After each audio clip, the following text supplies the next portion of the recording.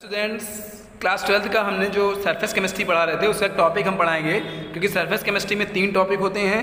पहला होता है सरफेस प्रोसेसेस दूसरा होता है कैटलिस्ट एंड कैटालिसिस और तीसरा होता है आपका कोलाइडियल स्टेट तो आज हम कैटलिस्ट और कैटालिसिस की बात करेंगे।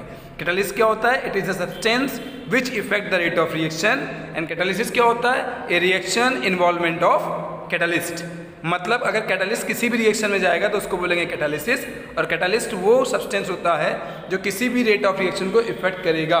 मतलब रेट ऑफ़ रिएक्शन को बढ़ा इंक्रीज भी कर सकता है डिक्रीज भी कर सकता है, ये काम होता है कैटालिस्ट का।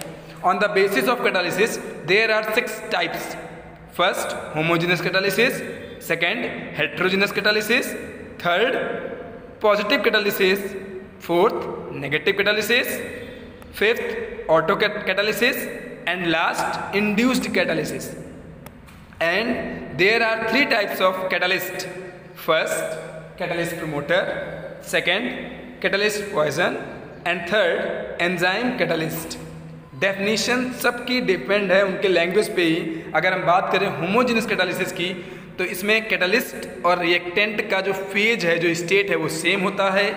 हेट्रोजिनस में जो स्टेट ऑफ़ रिएक्टेंट और कैटलिस्ट होगा वो डिफरेंट होगा। पॉजिटिव कैटालिसिस में कैटलिस्ट के प्रेजेंस में रेट ऑफ़ रिएक्शन इंक्रीज करेगा और नेगेटिव कैटालिसिस में कैटलिस्ट के प्रेजेंस में रेट ऑफ़ रिएक्शन डिक्रीज करेगा।